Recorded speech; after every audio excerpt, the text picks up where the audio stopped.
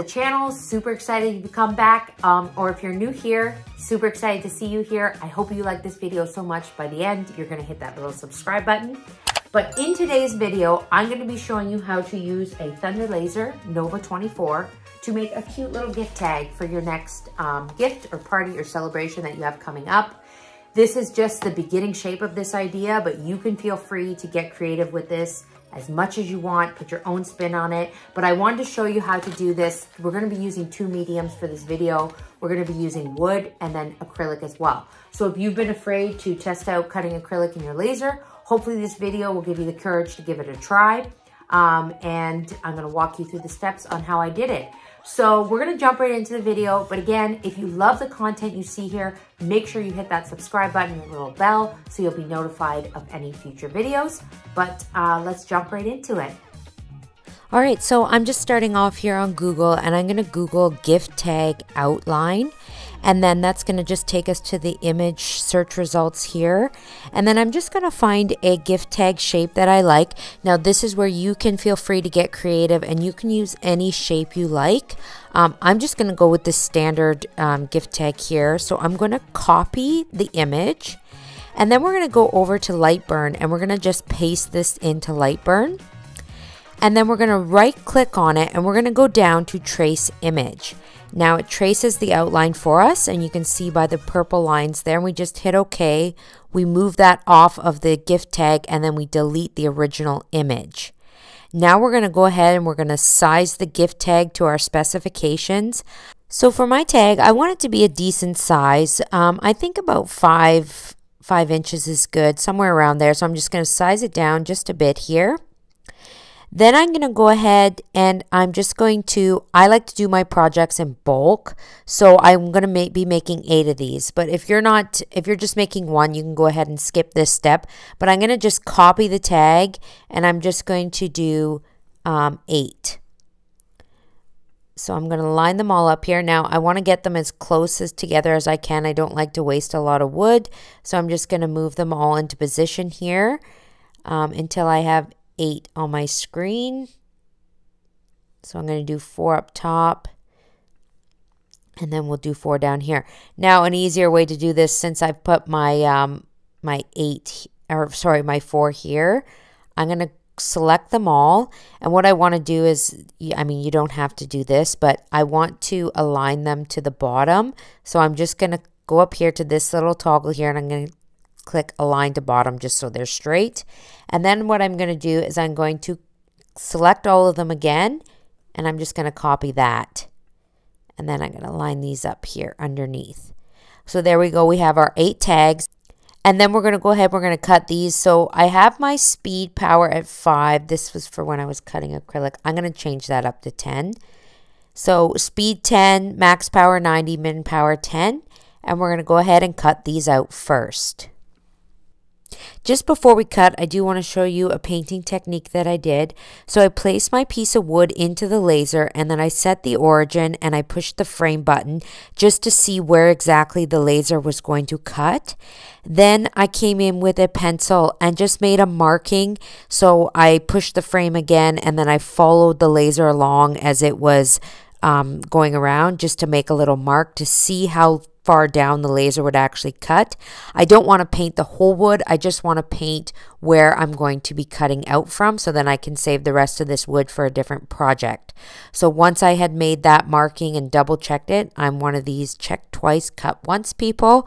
Um, then I knew exactly where I could paint on my wood. So I came in with this DecoArt metallic paint just as a base layer. I don't want to paint the wood. I still want to see the grain underneath. I just want to give it a nice shimmery effect. So I, I came in first with this pearl white metallic.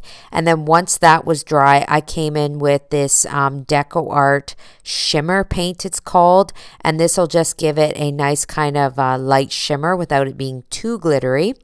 So I went over that as well. And then I went ahead and let this fully, fully dry. So this is really important that you let the wood fully dry because we are going to have to mask it before we cut.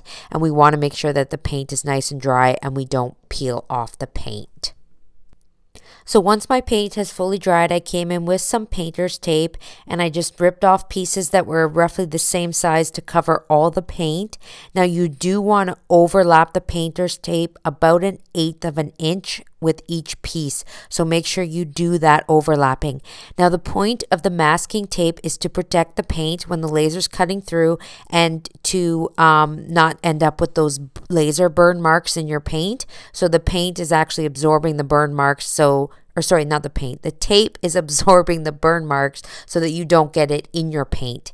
Now, I know that there are better products out here to do masking with, like there's actual masking tape that you can buy that is meant for lasers. It's a lot thicker than this, or not thicker, wider, so it covers a, a better product piece of your product. I just don't have any of that tape on me. I'm going to be getting it, but in the meantime, painter's tape will work. I have used it and it does work. So you want to go ahead and you want to cover all the paint. And then once you've done that, you can go ahead and put it into the laser. And also make sure that you just smooth out the tape really well so there's no crinkles or bubbles in it. So next you're going to lay your piece of wood inside your laser. Now I'm going to go ahead and I'm going to frame it out one more time. I always check just in case to make sure it's in the exact right spot.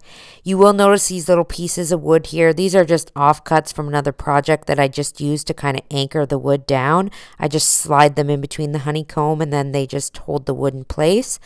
And then you're going to hit start and the laser is going to go ahead and cut everything out for you.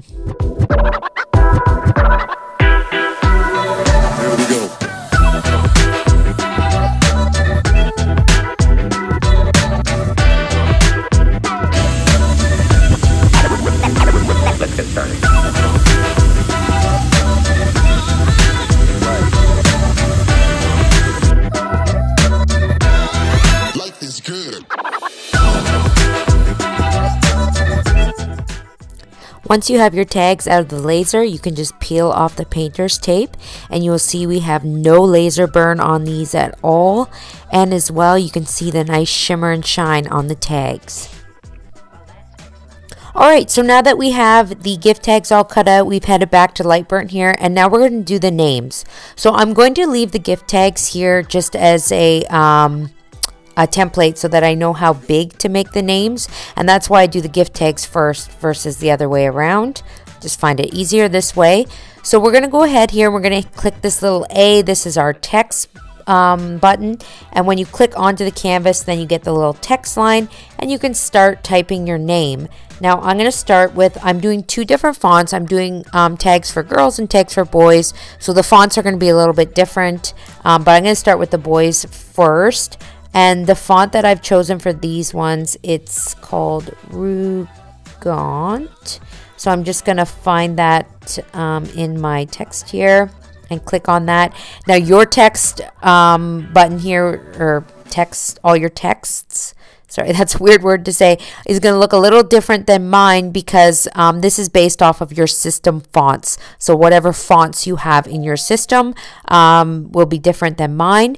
Um, just a little tip, I get a lot of my fonts at dafont.com. I find they have a great selection and they're all free um, for personal use. So um, I like this Rugant font here.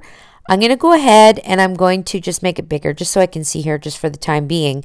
Um, for these um, block fonts, if I cut it out like this, it's all going to be separate letters. So what I'm going to do is I'm just going to change the horizontal space just a bit. I'm going to pull it down here just so they kind of attach. Not that far. I don't. I need the I and the L to be separate. Just so they can come really close together here. Um, and I can it will kind of cut out all at one like this W and I will be attached the two L's will be attached. They all may not be attached they may come apart but it'll just be a little bit easier for me to line them up on the tag. So I'm going to um, size it down now and I'm going to put it on the tag so that it fits. This is again why I leave the tags here and then I can put it there and now I know how big to make it. Now I have three other names that I'm just going to type out here that we're going to cut out um, with this particular color of acrylic. So I'm going to line this one up here. And then I'm going to do one more name here, sorry. Uh, can remember the spelling. There we go. All right, and then I'm going to put this one in place as well here. This one I can make a little bit bigger. His name is a little bit shorter. Okay, now what we're going to do, since we've already cut these tags, we don't need them, so I'm just going to delete those and delete this one. And then also not to forget to delete the ones around. And then basically what you're going to do is you're just going to repeat this process um, for any other names. The girls' names I'm going to do in a scriptier font, but I'm going to cut that one out after in a different type of acrylic. I'm going to move these closer together here. I don't want to waste material. And then I'm going to go ahead up here and we're going to switch the speed and the power to 5. I just found the acrylic cuts a lot nicer with 5, speed 5, max power 90. And then we're going to go ahead and we're going to send that to our laser. So I've gone ahead and placed my piece of acrylic in here. I'm using the blue mirrored acrylic. This is just a scrap piece that I got here and it's perfect for this project to use it up. Now you do want to make sure that you use the masking tape with the acrylic because you definitely do not want those laser burn marks in your acrylic and it just protects it while it's cutting.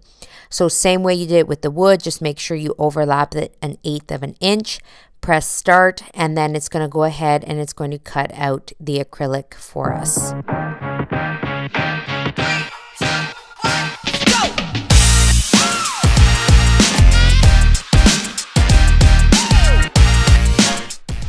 Now you'll notice here um, when I go to take this out, the letters didn't all stay attached. So some of them are separate, some of them are all attached. That's okay. Um, it's not a big deal. And then all you have to do once you got it out of the laser is just peel off the masking tape just like you did with the wood pieces. And then you're going to go ahead and use a strong glue. I used a Gorilla Glue and unfortunately I thought I was recording but I don't have that footage and but basically you just glue it on the wooden tags and then here are the finished tags all ready to go and um, this is our finished project. So again, this is just a really super easy beginner project that you can do with your laser. And these people love these gift tags. They make great little present toppers um, for all kinds of events. I really hope that you enjoyed this video. Again, don't forget to hit that subscribe button so you don't miss out on any future videos. And please leave any comments you have for me below with any questions or feedback. Thank you so much for tuning into this video and we'll see you on another one.